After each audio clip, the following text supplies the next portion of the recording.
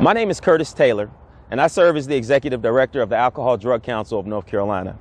Our agency operates an information and referral hotline for any North Carolina citizen that is seeking services for substance use disorder. Alliance Health is one of seven local management entities slash managed care organizations in our state. Our partnerships with the LMEs are imperative as we provide services and help for any North Carolina citizen that needs it. Today we are highlighting a unique program and a partnership between Alliance Health and the Durham County Sheriff's Office. Carlisle Johnson. I'm Director of Provider Network Strategic Initiatives for Alliance Health. Alliance Health has been working to uh, improve access to evidence based medication assisted treatment for the last several years. And we saw a wonderful opportunity in Durham to work with the Sheriff's Department, to work with multiple providers and partners in the community to expand access to treatment and connect people who need treatment while they're in the Durham Detention Center. Good morning. My name is Major E. Bazemore, Durham County Sheriff's Office Detention Services Division. Supervised programs and administration. Clarence Birkhead, Sheriff of Durham County. Yes, sir. That, that's simple. So we've been working with a number of partners, including the Durham Sheriff's Office, uh, Public Health, UNC, Duke, and, and many others too, wow. to figure out a way to get people access to treatment while they're in the detention center and then connect them to, to treatment afterwards. Today we are highlighting our new uh, innovative medicated supportive treatment service. Uh, and as we know it out in the community, it's called MAT. This treatment project focuses on opioid use disorder. Mm-hmm. And for most jails in the country, if you go into jail with an opioid use disorder and are receiving treatment, say methadone or buprenorphine or Vivitrol, you do not get that treatment while you're in the jail. Mm-hmm. And so we started to look at this issue in Durham and figure out a way to make sure that we could not only maintain people on the medication that they're on when they come into the jail setting, but also over time we're, we're moving towards starting people on medication assisted treatment while they're in the detention center. Medication supported uh, treatment the what the program entails is helping individuals with an opioid use disorder mm-hmm. um, that are detained here in our facility, and we provide them medication mm-hmm. uh, while they're in, being detained here in the facility.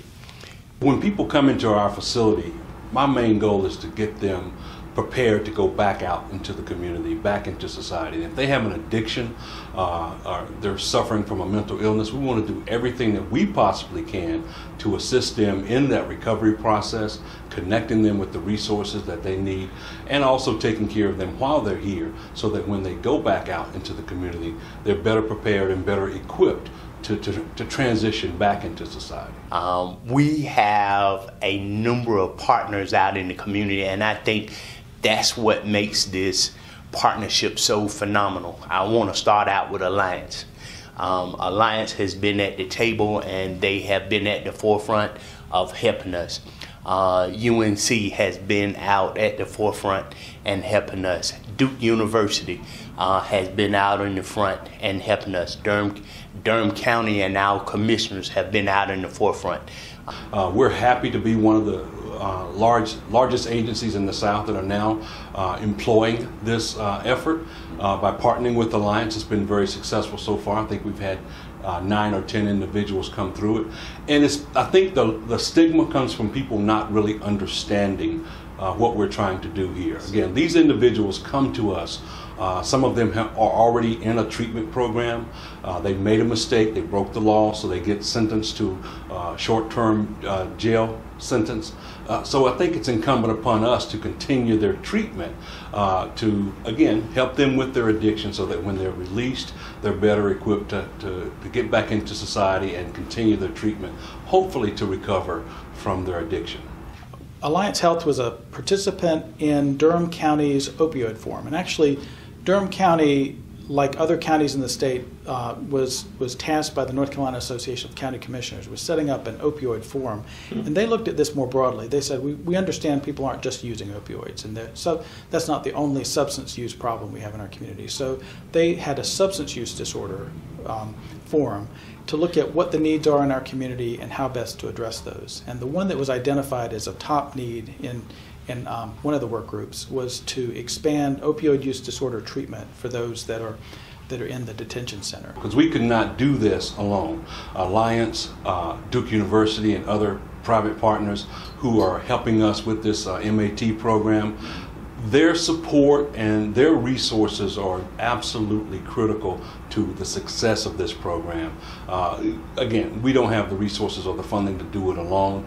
They are the experts uh, and we simply want to be a part of that process and be a conduit to make sure that the individuals can get connected to the services that they provide. We realize that um, we can't arrest ourselves out of the situation. There's, there's not um, that alone, although there are some, some efforts to, um, uh, to address the opioid epidemic by, um, by looking at prosecution and other, other efforts like that.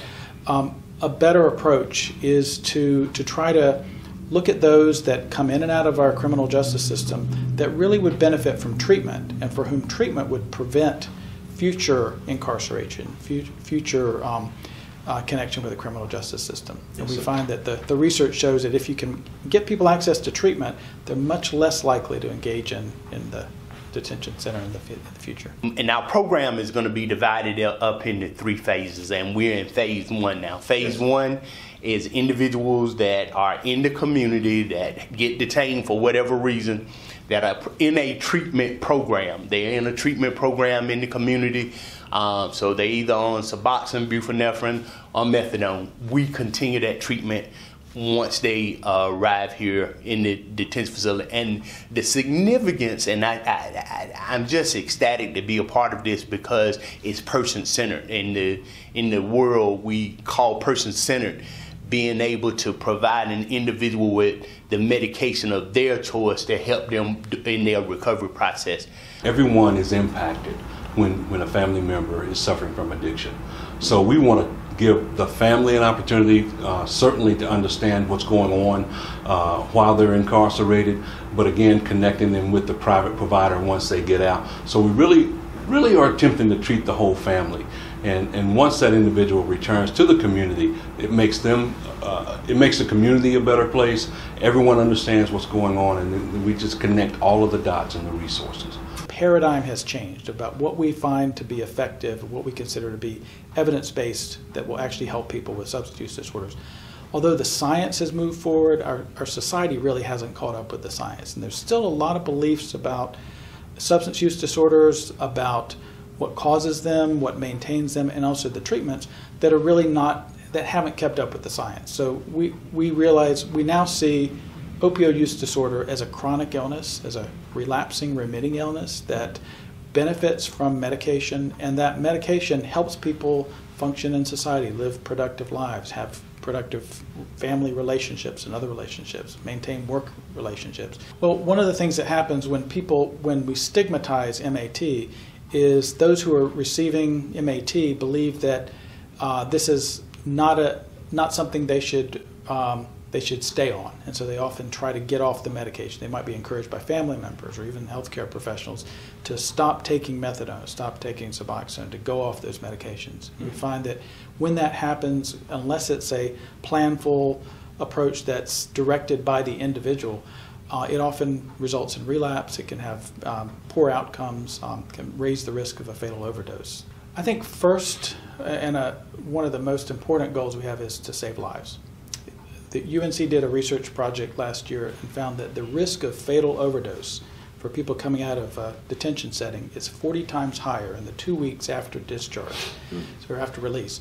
So we know that those coming out of out of the Durham Detention Center are at a 40 times higher rate, higher risk of fatal overdose, mm-hmm. unless they're in treatment. No.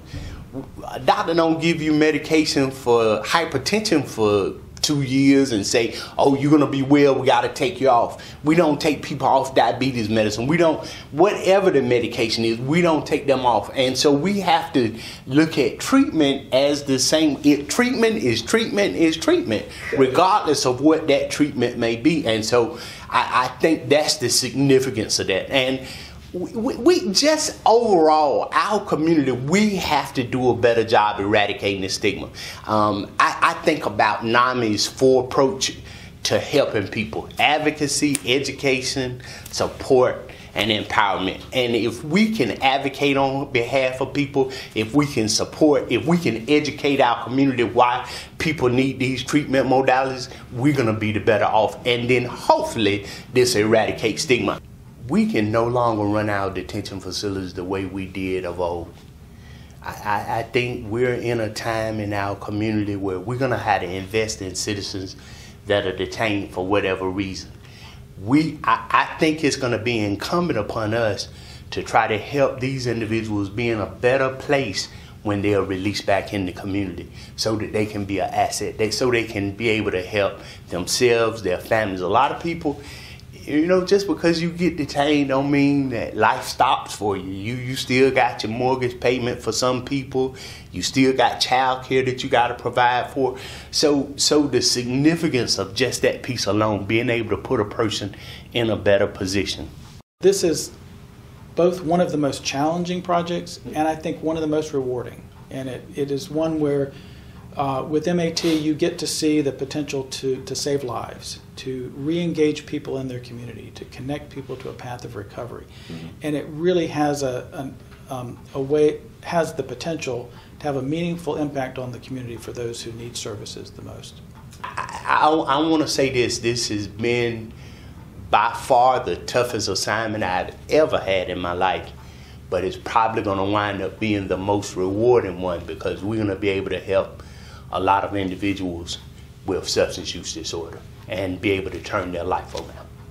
I'm very excited about the Durham County Sheriff's Office and our detention center being part of this effort. So looking forward to great things and treating as many people as we possibly can, again, to make a great community for Durham.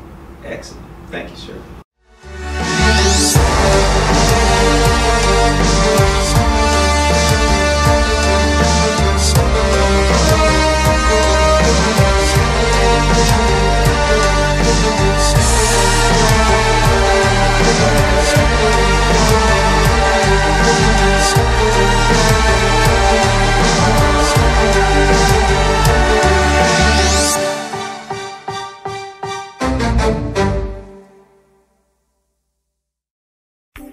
Time, I just wasn't thinking. I used social media to vent. I wish I would have thought about the effects of scaring people.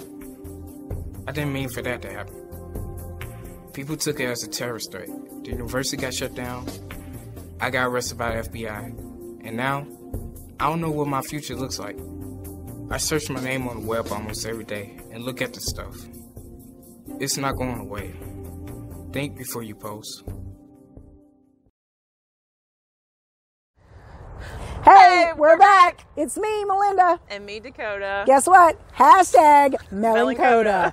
And today we're here to talk to you about the weather. Well, not really the weather, but how the weather pertains to your pets. Now, we're in North Carolina, so it's likely to be 70 and sunny today and 20 and rainy tomorrow. So we want to talk about something very important when it comes to your outside pets. Whatever the weather is, by ordinance, your pet must have access, constant access, to a shelter. And our definition of shelter means that it's going to have three sides, a floor, a roof, be well ventilated, size appropriate for the animal, and provide adequate protection from the elements. Melinda, can you give us some examples of what would not be considered appropriate shelter? Sure. We've seen some great efforts at providing a shelter, but like Dakota said, we have a specific definition. Things that you cannot use for shelter for your pets are things like temporary airline crates, metal crates like you would keep your pet in indoors, uh, under your porch, under your house, inside cars, under stoops, and anything that's in a flood prone area or an area that's likely to be surrounded by debris. So if you have any of those things, what you need to know is guess what? We can give you a free doghouse. All you have to do is call our office, request a doghouse. And Melinda, what's that number? That's 919 560 0630. That's our information line at our office. Please do not use the dispatch line for that. If you would leave your name and your information here, it will get put out so that we will have an officer visit your house and bring you a free doghouse. That's all we have for today, folks. So give us a call if you need any help. And until next time, we're signing off. Stay warm.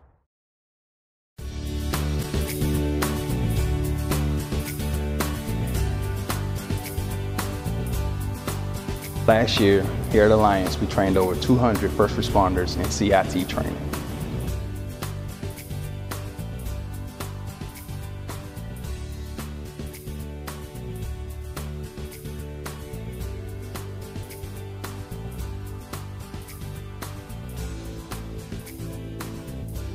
Unfortunately, a lot of the individuals that we deal with on a day, daily basis suffer from either an addiction or a mental illness.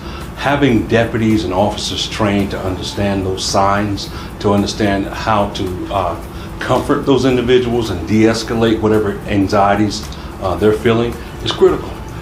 Not every day a citizen is going to be having a good day. Sometimes they're going to be in crisis. And we want to teach them how to eradicate the stigma and be able to help people um, so that whatever situation they are placed in is not such a, a traumatizing um, event. Uh, it's it's being able to talk to them, um, try to empathize with them and relate to them at some point. Uh, sometimes it's just a matter of being heard, um, to really know that we're not here against them, but we're here with them. So well, I work on patrol, um, and I know a lot of people think that you know you work on patrol, the first thing you want to do is arrest somebody. But if I step back out of that you know, this person committed a crime type of mentality, then I go back into, okay, well, what's really going on here? Am I going to have to deal with this person again? Is this person going through something else? Are they having a crisis? Are they are they upset? Are they just having a bad day? Or is something? Is there a bigger issue that's going on? So being on patrol, sometimes I step out of myself and say, okay, how can I help you?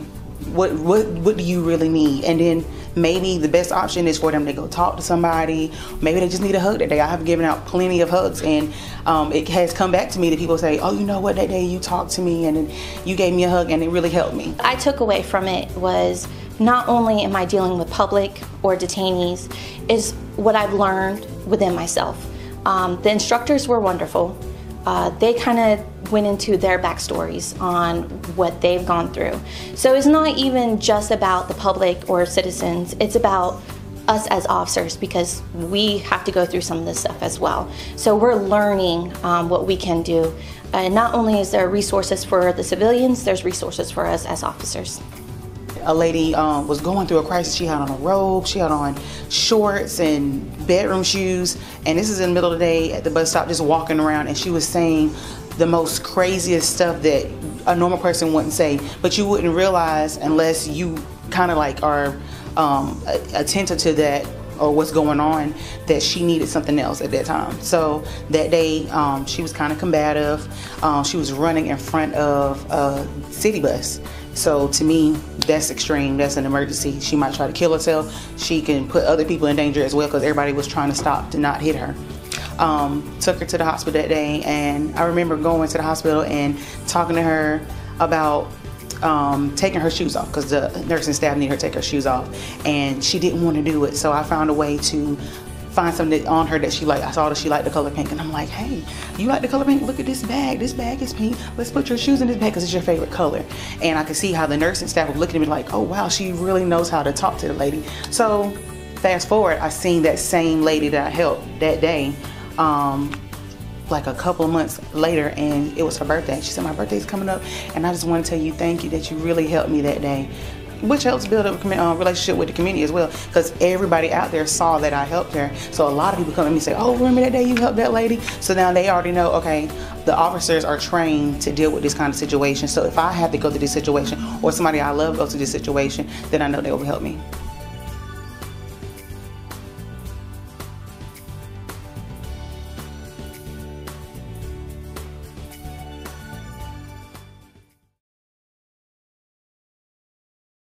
We're getting ready for the Bahama Parade. Always enjoy coming up here to be uh, in this parade, participate, love being up here, just, and then just enjoy the fellowship, the camaraderie with everyone up here, seeing all the many floats that are lining up here. We have almost 100 entries, I've been told. So just enjoy this whole community atmosphere in Bahama. Not only do I get to work with a bunch of great deputies that for the with the sheriff's office, but I also get to bring my family out here, and my family enjoys it. And we've been coming for years, and it's just a great family atmosphere, a safe event, and downtown Bahama, we really enjoy it. And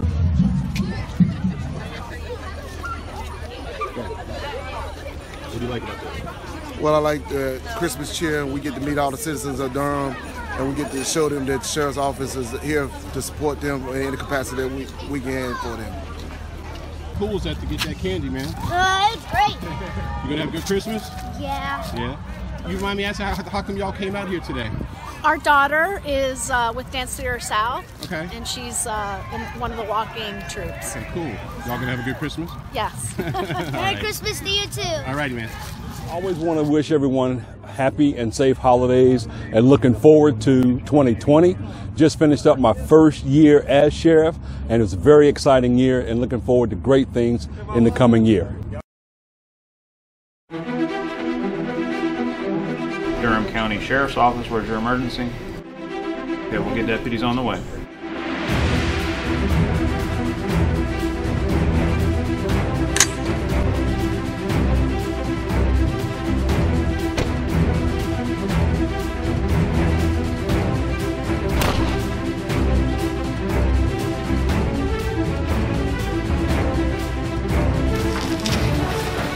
Order!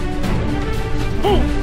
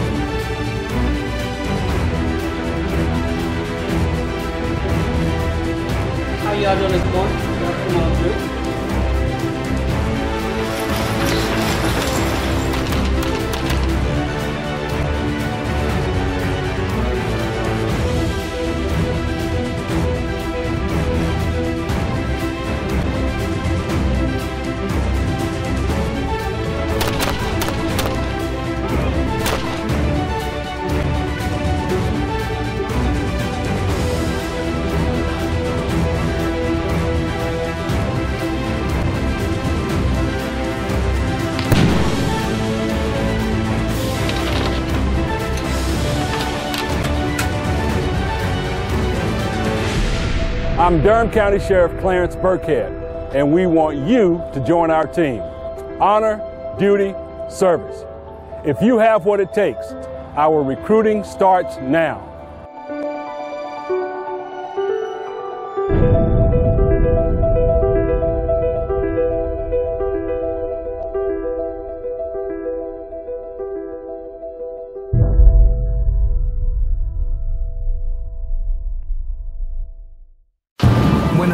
Strikes in Durham County, will you know what to do? Receive critical, time sensitive information straight to your device with Alert Durham. Alert Durham provides you with critical information quickly for incidents like severe weather, hazardous materials, evacuations, and more. You can even choose the type of alerts you want to receive and how you want to receive them. Just go to alertdurham.com to register quickly and easily. Stay alert, stay informed, stay safe with Alert Durham.